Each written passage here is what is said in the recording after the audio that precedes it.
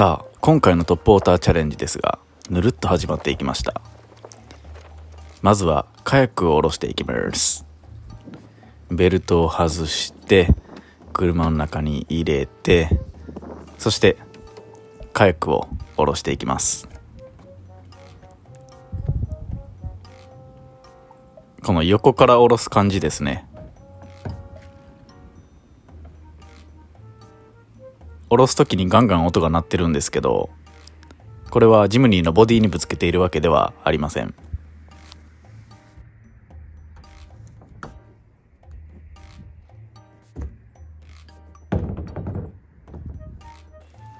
さあ、そして今日は死神でブラックバスは釣れるのかという検証になります。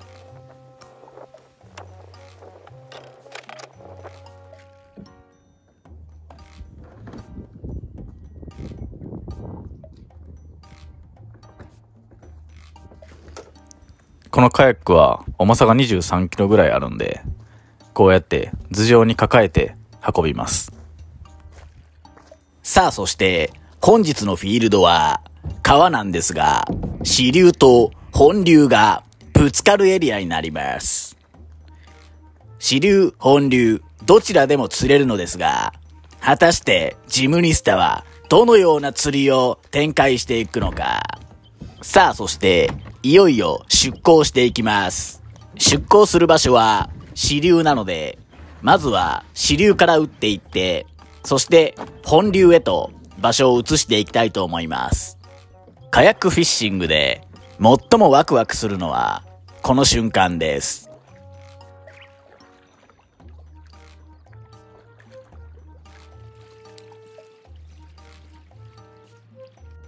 よーしそれじゃあ今日も出港していきましょうか。さあ今日は、えー4月の3日日曜日。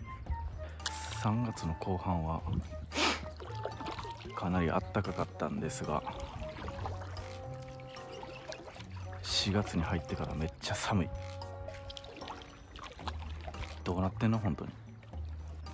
さあということで釣りをしていきます。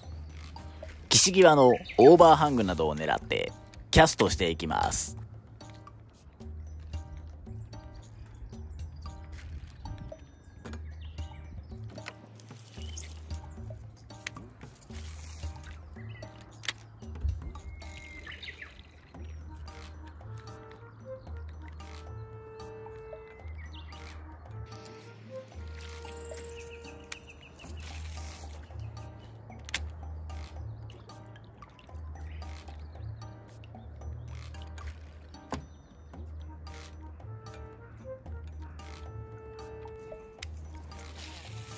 支流では釣れなかったので本流に移動してきました。水の色を見てもらってわかる通り本流は水が綺麗です。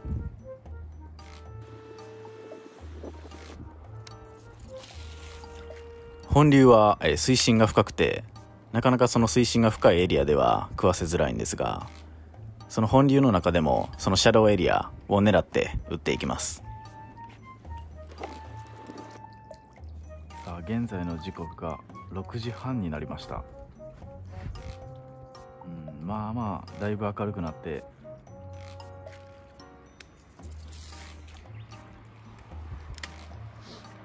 厳しい時間に入ってきますね。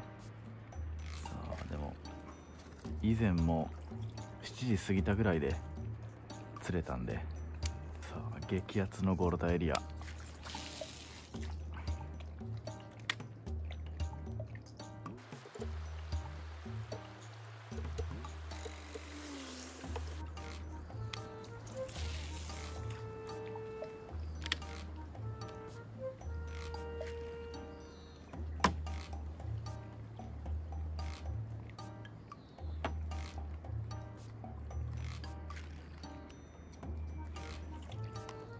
さあ俺にものすごいしゃくれたバスをください。ものすごいしゃくれてていいんでブラックバスをください。今日は神様じゃなくて死神様にお願いするんで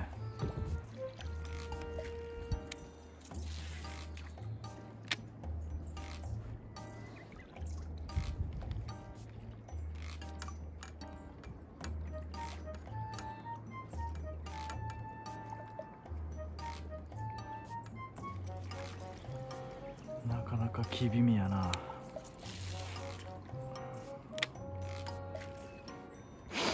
釣れんか。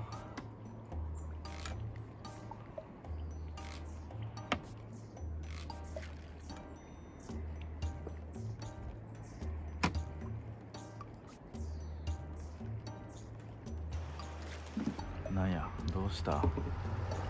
ブラックバス？お前も寒いんか？その気持ちはようわかる。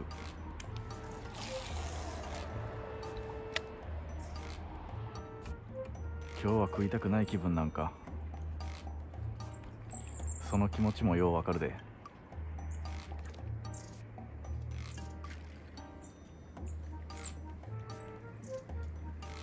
ブラックバス俺はお前の全てを受け止めるよ。が死神の力をもってしてもいかんか。厳しいな。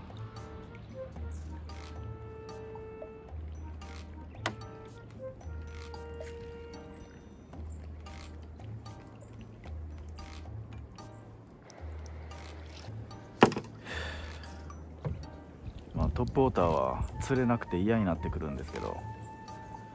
まあ、その嫌になってきた中でもいかに丁寧に釣りをするかっていうところで。っぱりその1匹の釣果が変わってきますよね。釣れなくても適当にならない。っていうのがねやっぱ大事ですわ。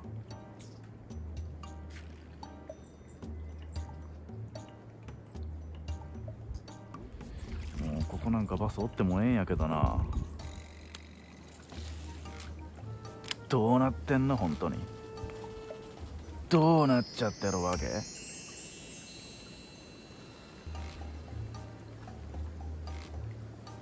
恐ろしく寒い。さあ釣れへんかったで今日も。今日も安定の坊主ジム兄さん。どうすかこの低たらくは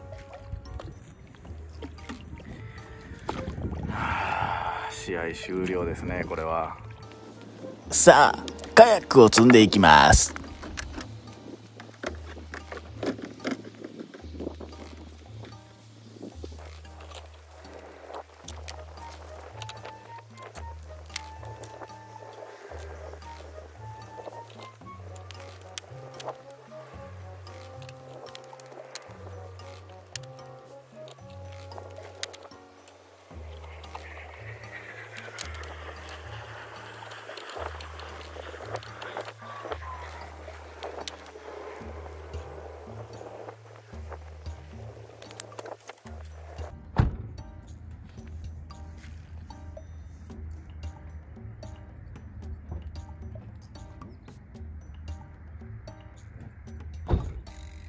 さあ、いかがだったでしょうか?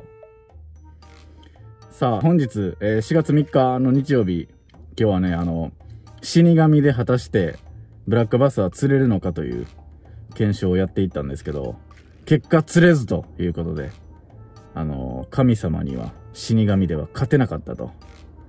いうことになります。4月に入って、この3日間、あの、かなり冷え込んで、あの、まあ、バス的にはどうかわからないんですけど、まあ、釣りをしてる私がめちゃめちゃ寒いんで、あの、キャストもちょっとあんまりうまく決まらないという、まあ、そういう言い訳をさせてもらって、まあ、ブラックバスの動きは、まあ、やっぱプリスポーンなんで、まあ、餌を追ってるとは思うんですけど、うん、今日もね、まあ、安定のバスの姿見えずということになります。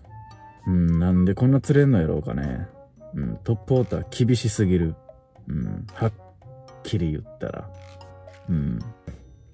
プリスポーンの時期はもうちょっと続くんで、まあこの4月の間とまあ5月はまあアフタースポーンに入ってくると思うんですけど、まあ4月の間はまだまだこの春バスを狙って、プリスポーンのバスをね、あの狙っていきたいと思いますんで。